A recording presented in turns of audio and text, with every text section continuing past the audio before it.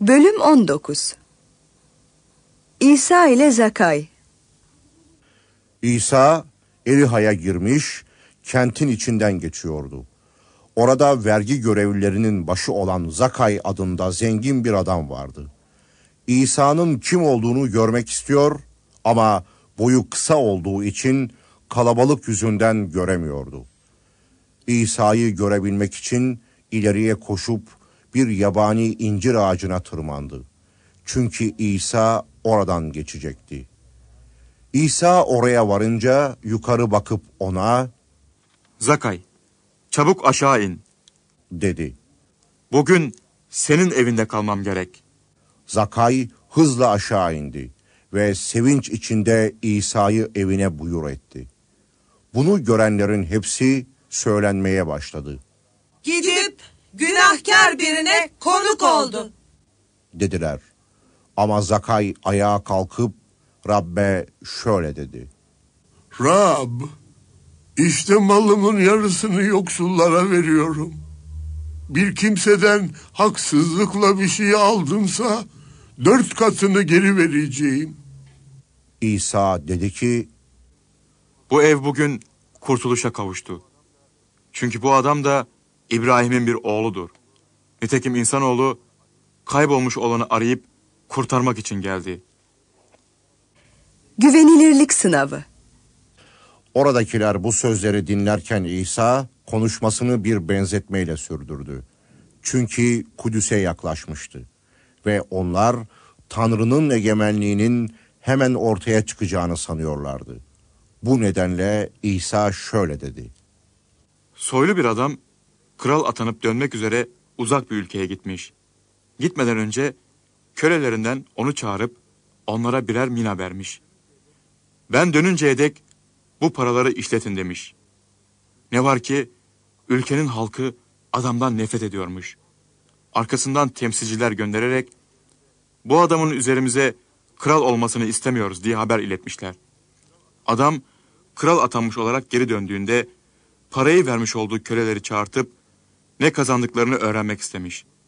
Birincisi gelmiş, Efendimiz demiş. Senin bir minan on mina daha kazandı. Efendisi ona, aferin iyi köle demiş.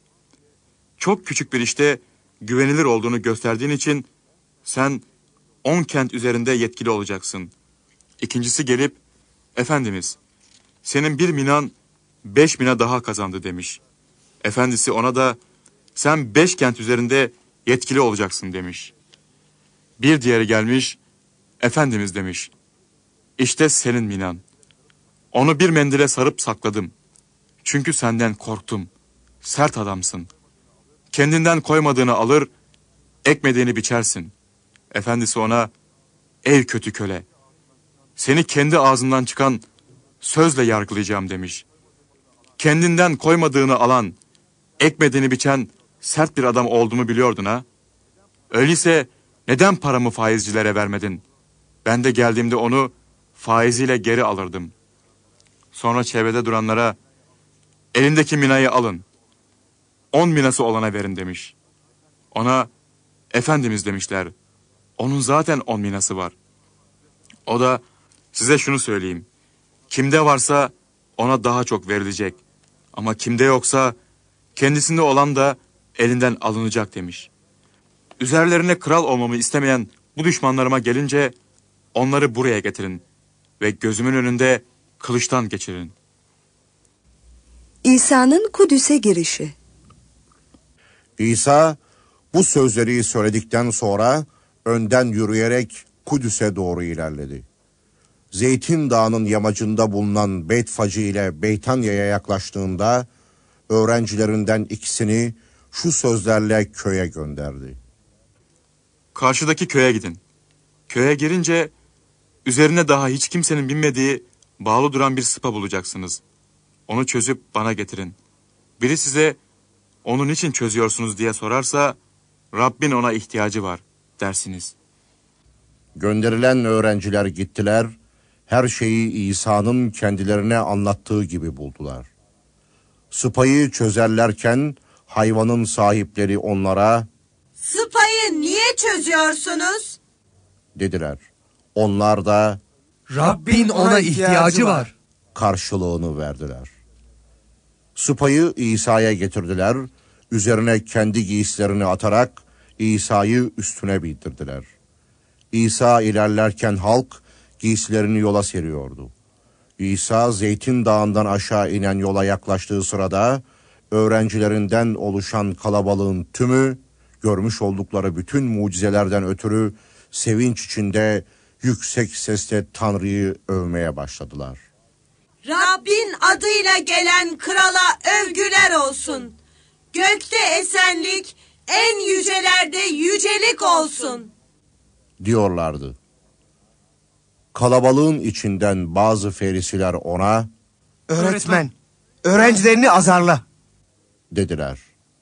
İsa Size şunu söyleyeyim. Bunlar susacak olsa taşlar bağıracaktır. diye karşılık verdi.